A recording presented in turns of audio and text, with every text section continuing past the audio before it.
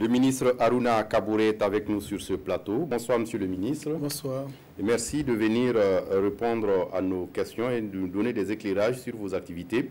Vous êtes là notamment pour nous parler euh, euh, d'une annonce. De quoi s'agit-il exactement?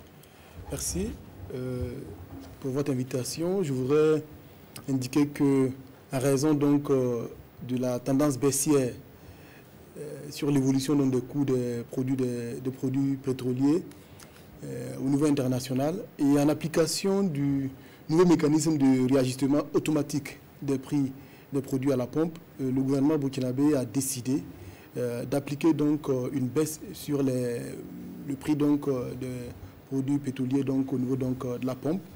Et à ce niveau, je voudrais indiquer que les prix du Super 91 passent de 677 francs CFA à, 5, à 657 francs CFA le litre, soit une baisse de 20 francs CFA.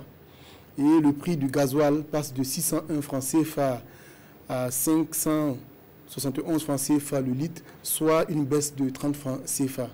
Le prix du pétrole lampant, lui, passe donc de 538 francs CFA à 455 francs CFA par litre, soit une baisse de 83 francs CFA.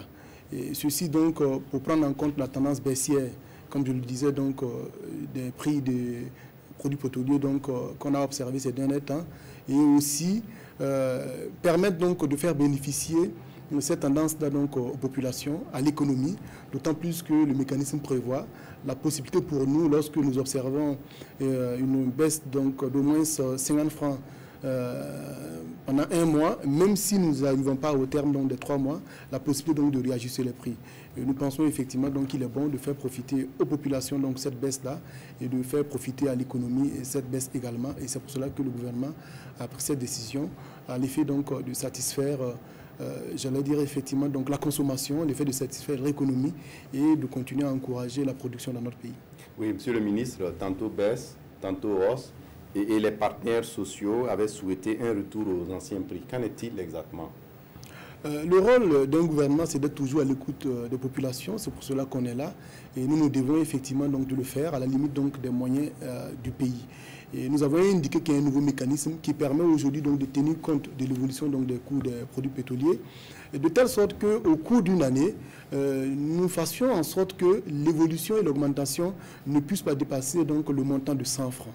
C'est-à-dire que si nous nous retrouvons dans une situation où le coût du baril augmenterait pour qu'on soit obligé donc euh, d'augmenter le carburant au-delà de 100 francs, nous mettrons automatiquement en place, euh, j'allais dire en œuvre, un mécanisme de subvention.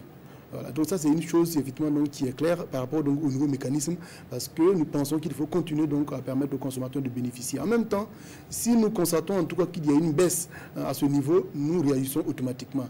L'idée, c'est quoi? C'est d'être dans la transparence, pour permettre aux Burkinabés à chaque fois de euh, profiter, donc, de la baisse donc, des coûts, mais aussi de les protéger en cas donc, de hausse-baisse pour éviter qu'il euh, n'y ait pas d'augmentation de plus de 100 francs l'année.